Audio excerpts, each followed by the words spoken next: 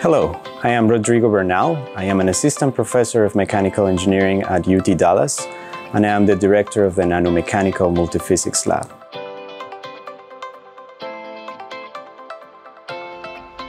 In our lab, we study the mechanical properties of nanoscale materials.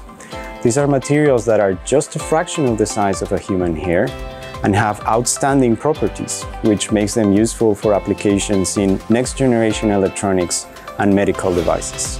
Some examples include next-generation transistors, biomedical devices, and wearable electronics. We use experimental methods to know how strong these materials are and how they react to different forces and deformations. And also, how can we use those forces and deformations to change some of their other properties. For example, a wearable device bonded to your skin to monitor your vital signs is just like your clothes. It will be bent, twisted, and stretched in so many different ways.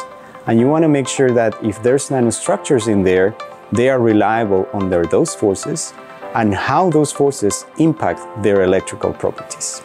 We use advanced experimental tools to do this research. For example, we use microelectromechanical systems.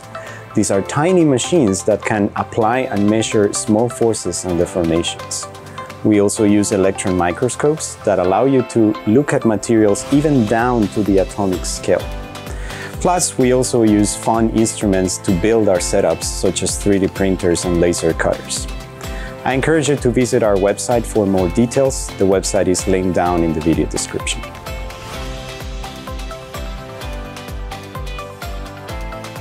Engineer your passion, design our future.